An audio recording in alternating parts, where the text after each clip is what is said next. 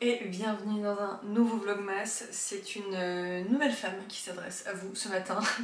Je filme le lendemain de, bah, du précédent vlogmas, donc on est mardi 29 novembre. J'ai passé une nuit euh, mi-figue mi-raisin parce que j'ai pas mal euh, cauchemardé, déliré, donc j'ai dû probablement faire un peu de fièvre à un moment donné. J'ai pas eu le courage de me lever, euh, d'aller chercher le thermomètre pour prendre ma température, donc je ne sais pas si j'ai vraiment fait de la fièvre. Mais là, je suis un peu courbaturée, donc euh, il est bien dû y avoir quelque chose de ce style-là. Mais la bonne nouvelle, c'est que euh, l'appétit est revenu. Alors c'est un grand mot parce que je, je, ne crève pas de faim, mais j'ai pu manger un peu de pain et boire un thé ce matin.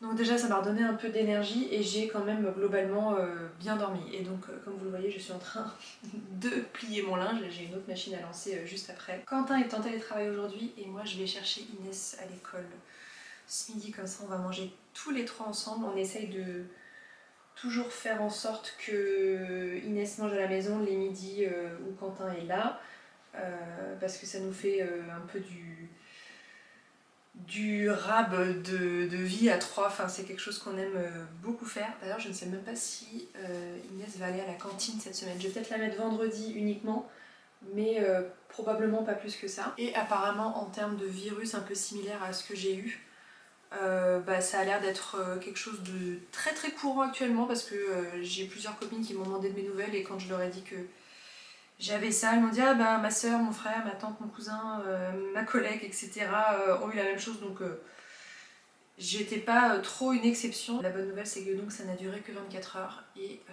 ça c'est quand même cool. Demain on sera mercredi et j'aimerais bien essayer de faire le sapin avec Inès. D'ailleurs j'ai acheté une guirlande lumineuse pour le sapin. J'en avais une jusque là qu'on m'avait donnée donc que je n'avais pas choisie et qui est une euh, guirlande multicolore qui clignote. Euh, en plus, il n'y a pas un seul mode sympa, c'est vraiment hyper agressif pour le regard, puis c'est vraiment euh, des, des, Je sais pas si ce sont des LED, mais en tout cas des petites lumières là qui sont très très violentes et j'avais bien envie d'une guirlande un peu dorée et écoutez, j'ai découvert quelque chose.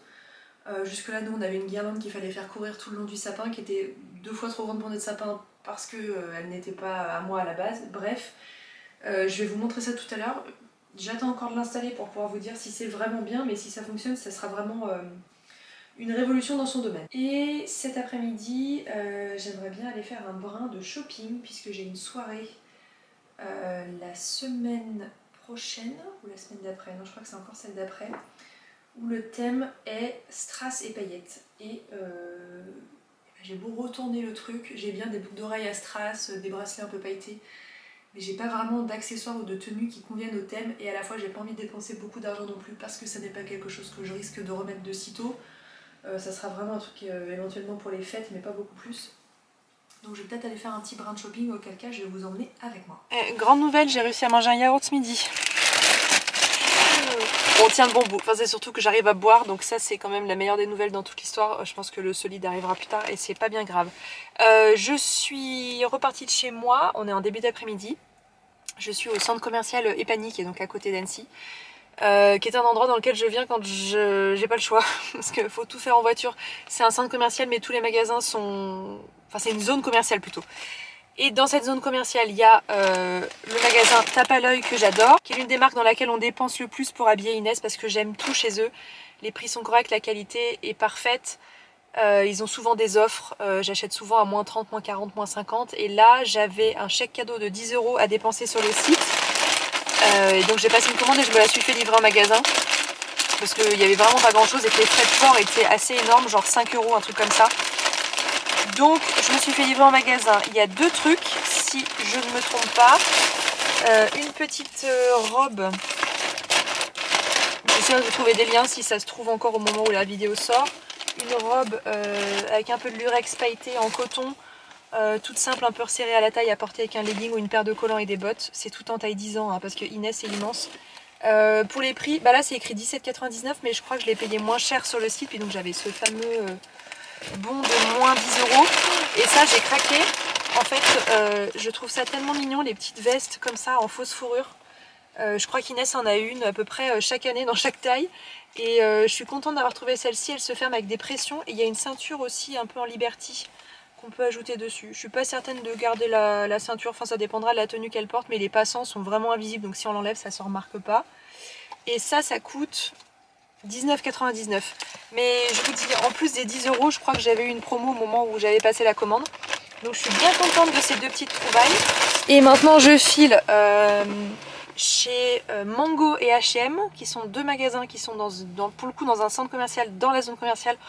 C'est beaucoup de détails pour pas grand chose. Qui selon moi sont bien des magasins dans lesquels je pourrais trouver un peu ce que je recherche, un haut pailleté ou une robe à sequin ou un truc. Euh, je vous avais dit j'ai pas envie de dépenser beaucoup donc je vais aller voir ça là-bas et j'avais envisagé Vinted à un moment donné mais si ça me va pas, je peux pas renvoyer et euh, je voudrais vraiment essayer en magasin. J'ai pas du tout envie de passer du temps à renvoyer et tout, surtout que la soirée c'est la semaine prochaine. Non, c'est la semaine d'après. Bon bref, j'ai pas non plus euh, un mois devant moi. Euh, j'ai connu le thème un peu, un peu tard et du coup ça sera plus simple d'essayer dans le magasin. J'espère trouver quelque chose. Moi ma grande spécialité quand je recherche quelque chose de bien bien précis, c'est de ne pas le trouver et de faire des trouvailles, des pépites pas croyables quand je ne cherche rien. Donc on y va, je tente. Allez, c'est parti. Croisez les doigts pour moi. Première étape, mango. Et ensuite j'irai voir H&M qui est juste là-bas. Alors j'ai trouvé cette petite combi. Euh, je sais pas si on se rend compte mais c'est bien, c'est bien pailleté hein, quand même. Et euh, est-ce que on serait pas sur une réussite? Du premier coup Elle est bien longue. Il me manque juste des chaussures. j'ai replié mes chaussettes. Il faudra juste que je trouve des chaussures adaptées, mais euh, c'est pas mal, c'est resserré au poignet, c'est bien long. Le décolleté, bon j'ai pas bon, les bons sous-vêtements, mais c'est pas complètement plongeant non plus, je peux un peu le twister. C'est pas trop serré ici, parce que moi c'est mon problème, vu que je suis 1m78, ça pourrait être méga trop court, donc là elle est en taille L. Bah écoutez, je vais revérifier le prix, 59,99. Bon, c'est plus que ce que je comptais y mettre, mais celle-là, je peux la reporter à une autre occasion, franchement. Elle est pailletée, mais pas complètement too much. Bah, je pense que je vais la prendre. Non mais j'en reviens pas C'était presque trop facile. Premier magasin où je rentre, première tenue que je... J'ai un poil sur moi. Première tenue que je vois dans le magasin, c'était vraiment le premier portant. Je me suis dit, ouais, c'est pas mal. La coupe en plus est, belle, un peu resserrée au poignet et tout. Je me dis je vais prendre elle euh, pour gagner euh, quelques centimètres de longueur. Parfait. Bon c'est un peu hors budget comme je vous disais. Euh, j'aurais voulu mettre moins de 50 euros sur la tenue, c'est 60. Bon bref. Et il y a un programme de fidélité chez Mango. Je ne le savais pas. Qu'est-ce qu'elle m'a dit? J'ai cagnoté 5% sur 60 euros, 5 x 6, 30. J'ai dû cagnoter 3 euros pour mon prochain achat. Je savais même pas qu'ils avaient ça chez Mango. J'y vais tellement jamais que j'ai découvert ça. Le seul truc maintenant c'est qu'il va falloir que je trouve une paire de chaussures. Je n'ai vraiment aucune paire qui va avec ça. J'avais une paire de ballerines euh, vernis noir mais le talon s'est cassé, je les ai jetées, je pouvais rien en faire. Donc il faut peut-être que je trouve juste une paire de chaussures et peut-être une pochette mais si j'ai pas de pochette tant pis j'irai avec un sac à main classique, ça sera quand même pas... Euh, le point fort de la tenue étant donné que la combi respecte déjà bien le thème. Et globalement je peux vraiment la reporter euh, si on fait un réveillon un peu à thème ou quoi, euh, bon c'est pas forcément ce que j'aurais porté euh, en première intention mais elle est vraiment vraiment reportable à nouveau alors que si j'avais trouvé genre une mini robe ou une mini jupe à sequin c'est pas forcément mon style et j'aurais déjà un pas forcément été à l'aise là-dedans pendant toute la soirée et je sais pas si je l'aurais porté à l'avenir. Donc je suis très contente de ma trouvaille et il faut que je réfléchisse pour les accessoires mais je vais peut-être regarder sur Asos parce que ça va arriver assez vite que les tailles normalement sont assez fidèles à ce que je recherche. Maintenant que j'ai la tenue, je peux peut-être me permettre de trouver des accessoires euh, ailleurs. Je vais y réfléchir. J'ai fait de la pâte à gaufres. Elle a déjà bien monté. Je la prépare avec mon robot ménager qui est ici, donc je sais pas si la recette est adaptable à tous les robots, et encore moins s'il n'y avait pas de robot.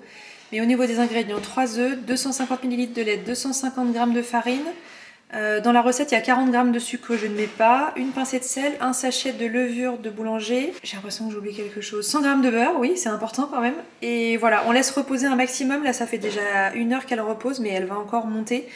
Euh, et ça fait des gaufres hyper, hyper aériennes. Je vous mettrai euh, un petit insert pour vous montrer à quoi elles ressemblent une fois qu'elles sont cuites.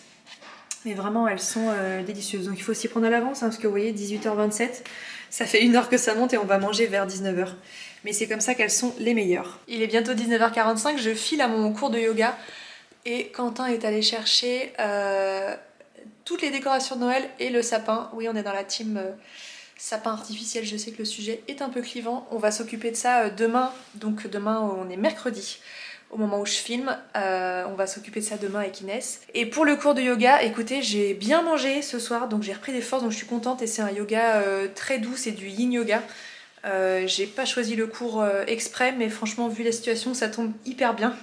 Euh, je file tout de suite avant d'être en retard. Je viens de rentrer de mon cours de yoga, je me suis un petit peu isolée dans le salon parce que Inès euh, s'est endormie euh, dans notre lit avec Quentin. C'est un peu le rituel quand l'un des deux n'est pas là pour qu'elle s'endorme le soir.